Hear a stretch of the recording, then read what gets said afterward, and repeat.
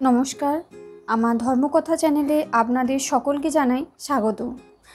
আজকে আমি আবার একটা নতুন ভিডিও নিয়ে এসেছি।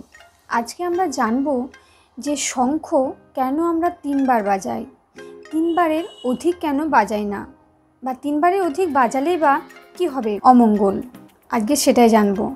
শাস্ত্রমতে নিত্য পূজার পরে যদি নিয়ম করে তিনবার শঙ্খ বাজানো যায়, তাহলে গৃহস্থের অন্তরে অশুভ শক্তির প্রভাব কমতে থাকে এবং শুভ শক্তির মাত্রা বাড়ে।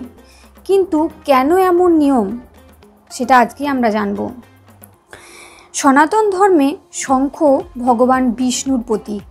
সৃষ্টির শুরুতে সমুদ্র গর্ভ থেকে পালনকর্তা ভগবান বিষ্ণু ও দেবতাদের তৈরি ঘূর্ণাবর্তের মধ্য থেকে অস্ত্ররূপে শঙ্খকে হাতে ধরে আবির্ভাব হন ভগবান বিষ্ণুর।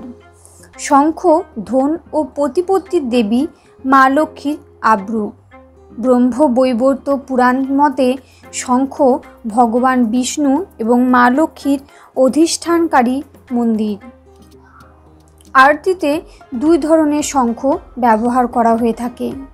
একটি সাধারণত বাজানো হয় পুজোর শুরুতে, অন্যটি পুজোর সামগ্রী হিসাবে প্রযোজ্য। পুজোর রীতিনীতি পালনে প্রয়োজন হয়।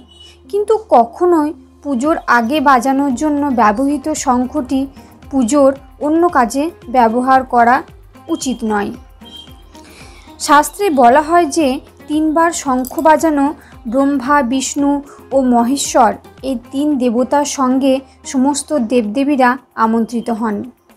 কিন্তু তিনবারের বেশি শঙ্খ বাজালে দেবের সাথে দানব বা অসুরকেও নিমন্ত্রণ পাঠানো হয়। সমুদ্র মন্থনের সময় অসুরা চারবার শঙ্খধ্বনি করে। বলি অসুরকে নিমন্ত্রণ পাঠিয়ে জাগ্রত করেছিল। তাই তিনবারের বেশি শঙ্খ বাজালে সৃষ্টি, স্থিতি ও বিনাশের দেবতা মহাদেব, বিষ্ণু, ব্রহ্মার পাশাপাশি আসুরি শক্তিও নিমন্ত্রণ পেয়ে আপনার গৃহে প্রবেশ করে।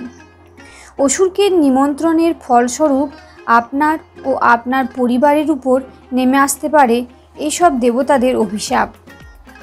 তাই শাস্ত্রে তিনবার করে শঙ্খ বাজানোর পরামর্শ দেওয়া হয়। বলা হয় যে দেবাদিদেব মহাদেব এবং সূর্যদেবের স্নানের আগে কখনোই শঙ্খ ব্যবহার করা যাবে না। কখনোই পুজোর কাজ ছাড়া বাজানোর কাজে শঙ্খটি রাখাও যাবে না। ঠিক আছে, আজকে তাহলে আমরা জানলাম যে শঙ্খ আমরা তিনবারই কেন বাজাই। ঠিক আছে, সকলে ভালো থাকবেন, সুস্থ থাকবেন, নমস্কার।